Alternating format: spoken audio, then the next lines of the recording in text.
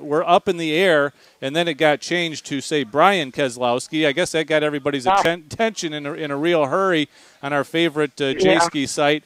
But uh, the reason that we wanted to talk to you is obviously you- you've been real close to the whole situation with with Brian and the way things were, which really, you know, two years ago at, at Daytona was kind of the high, made the Daytona 500, and then it's just been struggle and struggle and struggle to get the sponsorship money and get to races. And, and we wanted to talk to you about that and, and how difficult it is to, to put this team together and some of the struggles that you all face. Uh, it's extremely difficult. I mean, um, yeah, Daytona was a great, you know, high note, and, and it was a great way for me to. That was like my first day on the job was when we made the Daytona 500, so that was great, you know. I can't tell you what that feels like, but um, I can tell you what it feels like since then. It's it's tough, you know.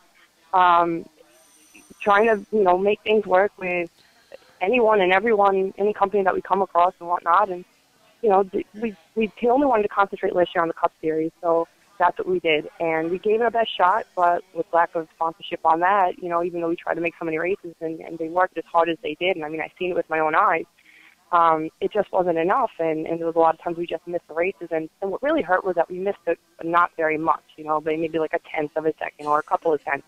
So that was pretty tough to do. Um, we didn't give up or anything like that. That's not why, you know, he moved down to North Carolina. That's not why I moved down to North Carolina. So, like, I'm giving up's not an option. But um, when you kind of use up your resources as much as you can and you try everything that you can possibly, you know, you kind of have to face the facts like, oh boy, this is this is not, you know, this is not going to work out maybe. But um, just when we thought that that was going to happen, we started Brian Keselowski Motorsports at the beginning of this year. And um, we tried to do that with the ARCA Series to get new drivers into the sport. I mean, Brian always liked work driving in the ARCA Series. He did well there. Um, and we tried to get, you know, new drivers that wanted to get into the sport. We we offered them at you know fairly decent price compared to some of the other teams that that's what they were looking for um, to do to do racing to race in the ARCA Series rather. But then again, you know, a lot of good, you there are a lot of great drivers out there and a lot of good drivers that, that want to do this and that you want them in your car. But again, lack of sponsorship on their end, you know, so it's, it's tough. I mean, we did it with in Daytona with Sloan Henderson and that went, you know, that went pretty well and, until she unfortunately got caught up in the big one. And, um, there was no place for her to go. I mean, that was, she did a great job as far as everything that she, she put into it. Um, but, and then it was, uh, Sal- um, yeah, Mobile, Alabama. Um, you know, Brian drove for a different team because he wanted to get back in the car one way or another. It didn't matter. And uh, Bubba Pollard actually used our number for for that race. So, you know, we try to keep it going, but uh, kind of fell short a little bit this weekend um, for Salem, and uh, and that that, that kind of hurts. So that's where we're at right now. We're, we really are trying to get things going, trying to make things work, but it's just there's nothing really right now out there. Well, I, So- g- I got the impression when I looked at, at Brian's Facebook page that there may have been a deal for Talladega that was close to being had and then kind of Yeah. fell apart at the last minute.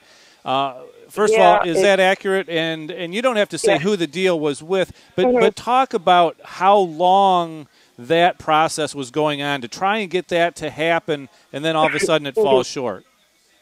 Oh, it was, you know, it's it was tough. It was really tough. I mean, disappointing to no end. But um, we were trying to work that one for, oh, I'd say at least six, seven weeks, and it was, you know, we were supposed to make plans to do things, and we were getting things lined up in order, and and just the, the sponsor, you know, kind of kind of was hesitant about, I guess, a, a couple things, and and then it was it was on, it was off, it was on, it was off, and it was like, well, you know, if you need us to do stuff, you know, to help out with this, you know, help it along, you know, we'll do it, and everything was, yeah, yeah, we're gung ho, we're going to do it. So they're still saying that, you know, they want to do it, they want to do it, but you know, what can we do? We, you know, when you're at the mercy of of somebody else who's going to be taking care of everything as far as you know being a sponsor on the car, you kind of have to cater to to them as best you can. But then there comes a point where you have to say, okay, enough is enough. Are we going to do this or are we not?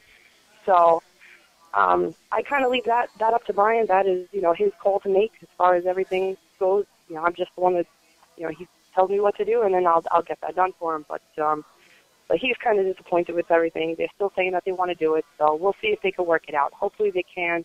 Um, it didn't work out for Salem. It's not going to work out for Talladega, but um, hopefully in the future, you know, we maybe we can they can get their ducks in a row, and, and maybe we can do, actually do something with them. Well, like you said, uh, you you know Brian moved down to North Carolina. You moved down to North Carolina with with uh, expectations of, of making something happen, and it's it's not working for you right now. So where does that put you? Where does that put Brian? You know, at, at this point on May first, two thousand twelve, what where are you going? You know, what what do you see ahead? I guess is the way I'm. I'm going to the classified, and so is Brian. you know, I mean, Been there, I done hate, that, I Jen. hate to have to do it, but um, you know, I got to pay. We have rent to pay. We've got bills to pay. So I mean, we got to do what we got to do.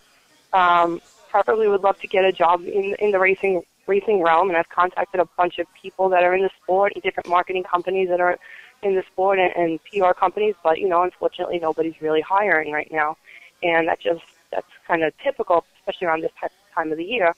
But um, you know, the good thing I think is that a lot of people do seem to know who I am in the sport, and and I'm blessed for that. I really am appreciative. I'm grateful for that. Um, that I've actually been able to do so much in such a short amount of time, and I've done things that I didn't even expect that I would do, and and I was able to you know share that with a bunch of people that I don't even know, you know, and, and they follow me, you know, like crazy. So I mean, I'm really appreciative for all that, and I'm hoping that maybe that can help me, you know, get hooked up with another team if that if things don't work out with with Brian. But you know, definitely Brian and, and BKM is my first choice to to stay with and, and work with because I enjoy it. You know, I get to do so many different things, um, everything from PR to pit crew. You know, and I, I got to go over the wall at. at uh, at sale um, at Mobile, so I mean, I never thought I would ever be able to do that, but I did, and it was great. I can't tell you what that was pretty cool.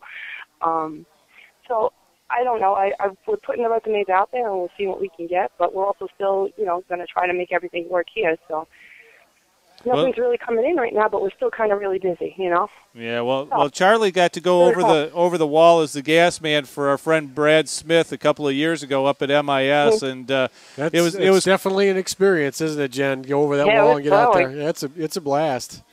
yeah, it's a blast. Yeah. I was right. kind of nervous, like, oh my god, I hope I don't screw up. I hope I don't screw Oh. up. And then, and then he came in, you know. And once you see the call coming in, it's like, okay, this is it, you know. And they just did what I had to do, and then I did what they told me to do, and Right. I did a, a decent job. They said, so I'm like, okay, great. Yeah, but it's it's still pretty cool. It's, it, you're nervous when Yeah. it before it happens. Yeah, it's a cool, cool thing. all right. Well, we wish you the best yeah, we of wish luck. you all the best. You know, uh, I don't know what the future holds for any of us, I guess, but uh, you know, we all live the the dream and try to continue to live that dream. Mhm. And uh, you know, best of luck to you. Thank you, thank you, appreciate it. And uh, we'll keep going. You know, we're not going to stop. It's just a detour Yep. on the road, so we'll Absolutely. we'll get over it. All right. All right, Jen, Great Jen deal. All right, Calandrillo. cool. Jen Calandrillo, Thanks. NASCAR Jen. All right. Thanks a lot. we'll Uh, thanks for having me on, guys. Absolutely. We'll talk to you again soon. That is infield Jen on Or infield Jen. Infield Jen. That's right. So. Uh,